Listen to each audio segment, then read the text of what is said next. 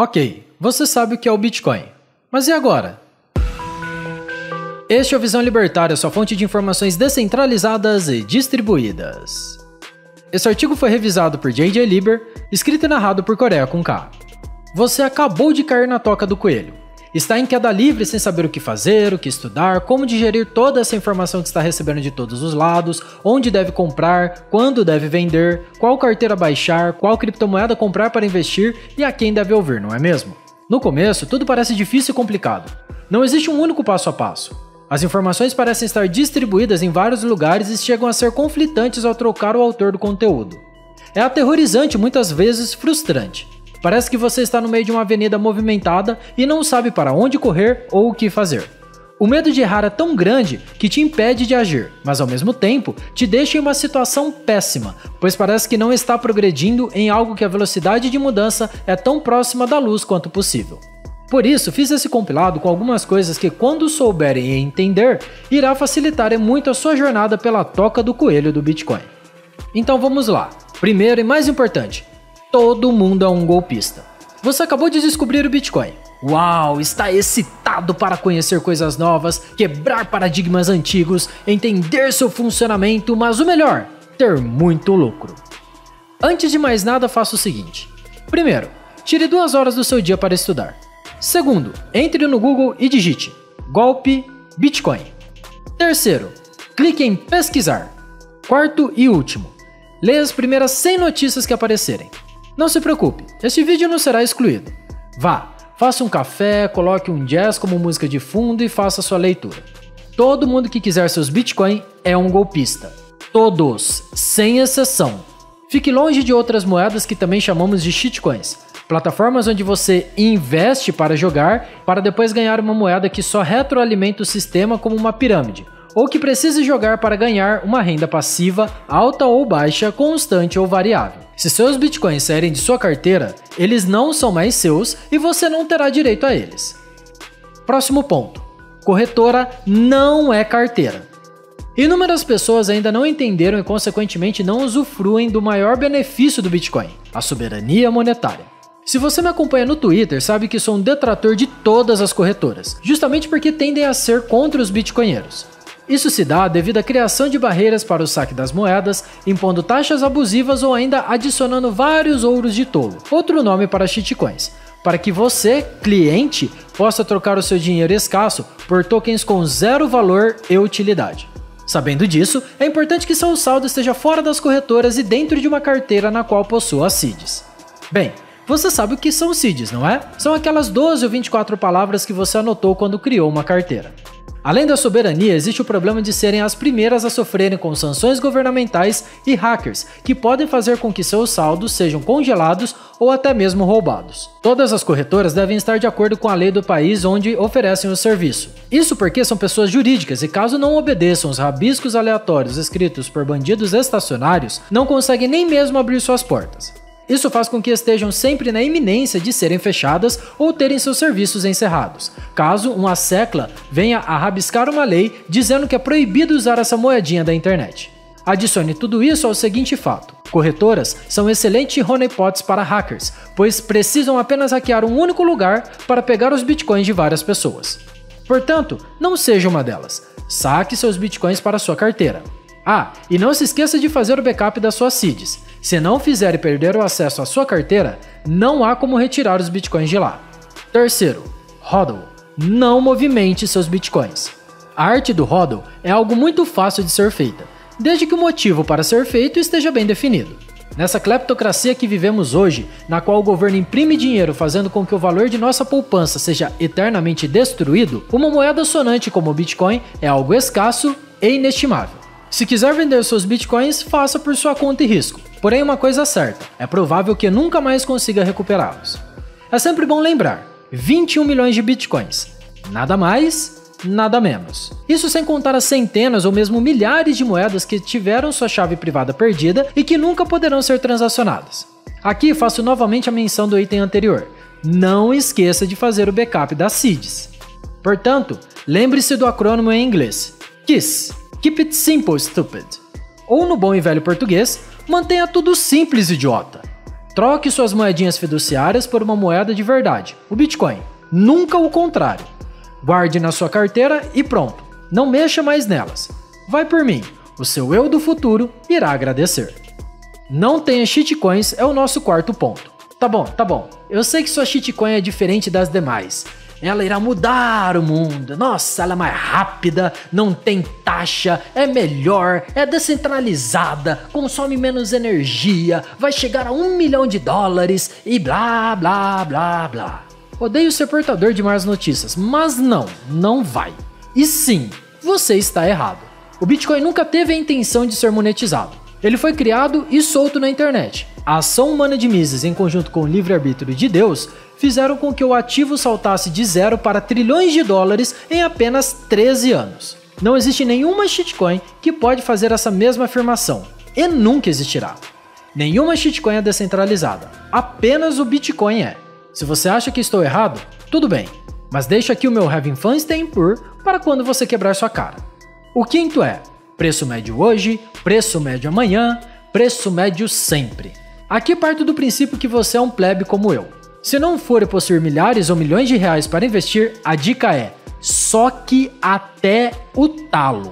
Seja bitcoinizado.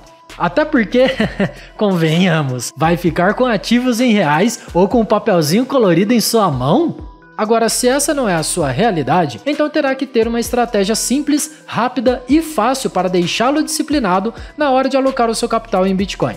E não existe nada mais elegante do que aumentar a quantidade de satoshinhos todos os dias, semanas ou meses de maneira religiosa. O preço? Não importa. Troque a moeda fiduciária por Bitcoin constantemente e consistentemente. Uma boa ideia é pegar sempre uma porcentagem de sua renda, indiferente qual seja esse valor, e colocar em Bitcoin.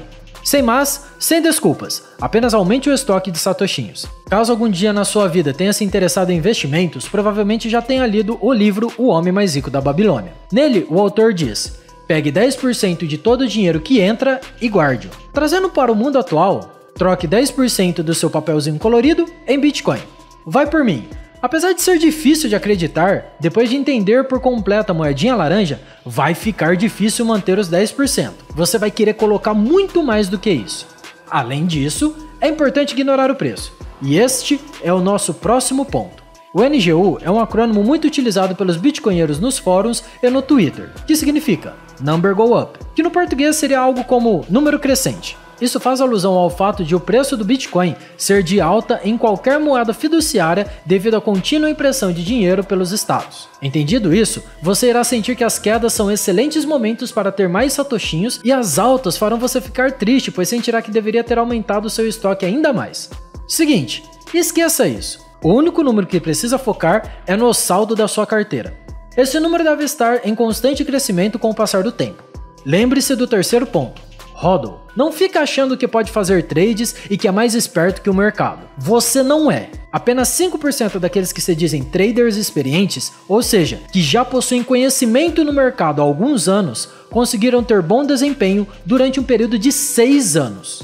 Se acredita no number go up do Bitcoin e não irá precisar vender seus Bitcoin daqui a pelo menos uns 5 anos, esqueça o preço. Estoque satoshinhos e foque em fazer mais moeda fiduciária através do seu trabalho para trocar por mais bitcoins. Seja humilde e nunca se esqueça: indiferente de qual seja a quantidade em carteira, ela não será o suficiente.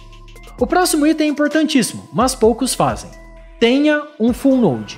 Só existe um único jeito de saber com total certeza que o Bitcoin que comprou é o verdadeiro Bitcoin e não uma cópia barata, rodando o seu próprio full node ele irá verificar se você realmente recebeu os bitcoins verdadeiros e que realmente estão de acordo com as regras definidas pelo consenso da rede. O Node valida todas as transações do Bitcoin desde o primeiro bloco, chamado de bloco Gênese, minerado pelo próprio Satoshi. Se não tiver um full node, terá que confiar em um terceiro para saber se o Bitcoin que recebeu é realmente verdadeiro. Isso vai de encontro ao ethos do Bitcoin que diz: não confie, verifique. Por isso, recomendo que instale o Bitcoin Core em um computador antigo, ou mesmo em um Raspberry e baixe toda a blockchain do Bitcoin. Tenha uma cópia fidedigna da blockchain. Conecte-se com a rede e construa a sua própria conexão com ela. Oitavo, estude, aprenda, construa e repita o processo. Não importa o quanto acredita conhecer sobre o Bitcoin, você ainda não sabe nada. Não existe formatura para esse curso. Quando imaginar ter terminado de estudar sobre o Bitcoin, irá perceber que existem outras coisas que estão correlacionadas que também são importantes, como economia austríaca, programação, desenvolvimento de software, segurança física e digital e até mesmo nutrição, agricultura e filosofia. A lista não termina. O Bitcoin é a matéria mais multidisciplinar que existe e cada dia aparece mais uma se anexando a ele. É por isso que os bitcoinheiros dizem que você não vai mudar o Bitcoin mas ele irá mudar você. Indo por este caminho, podemos dizer que se existe algo para aprender, então existe algo para ser construído. Sendo assim, sempre existirá algo para ler, entender e aprender, do mesmo jeito que sempre terá algo a ser feito. Portanto, livro aberto e mãos à obra. Penúltimo item: pegue de volta sua privacidade.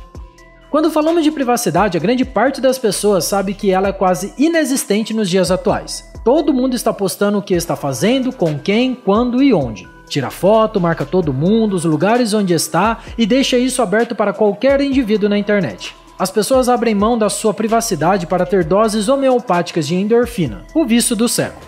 Ao estudar sobre o Bitcoin, você aprenderá que ele é uma rede pseudônima e transparente. Isso significa que o seu nome e quem você é não está ligado diretamente com as transações que faz. Entretanto, a rede é aberta e transparente, o que significa que é possível vincular a sua identidade física com as suas transações do Bitcoin. Compreendendo isso, você começará a se importar com a sua privacidade. Afinal, você não quer que as outras pessoas saibam quanto você tem, ainda mais no Brasil, não é mesmo? É possível recuperar sua privacidade com as soluções de segunda camada, como a Lightning Network, a sidechain Liquid e até mesmo usando a CoinJoin da carteira Samurai. Mas tudo isso está relacionado diretamente ao Bitcoin temos que ir além. Usar VPNs, provedores de e-mails que são focados em privacidade, sistemas operacionais que não coletam seus dados, celulares que não compartilham informações, além de senhas bem mais seguras. Mas antes de mais nada, já vou dizer o óbvio: os resultados virão apenas com muito esforço. Mas no fim, valerá muito a pena. Manter sua segurança, privacidade e soberania deve ser o foco, sempre. Por fim, divirta-se nessa jornada. De nada vale tudo isso se não estiver se divertindo no processo. Tenha culhão para mudar, coragem para tentar, ousadia para experimentar e principalmente humildade para saber que errou. Seja um bitcoinheiro de verdade, estude, construa coisas e ajude os outros nessa jornada. E lembre-se, se alguém não gostar do que estiver fazendo, foda-se! Você não é uma coxinha para agradar todo mundo. Ninguém pode te cancelar porque seu patrimônio é inconfiscável. Mesmo que alguém esperneie a ponto de um burocrata querer ferrar com sua vida, não se esqueça do Daniel Fraga. Tentaram congelar as contas e os bens dele, mas a única coisa que conseguiram foi criar um exemplo a ser seguido. Obrigado pela sua audiência. Se você gostou desse vídeo, clique no ícone de curtir abaixo e compartilhe o vídeo em sua rede social. Se você deseja ser notificado de outros vídeos, clique em se inscrever e depois no ícone da campainha. Até a próxima!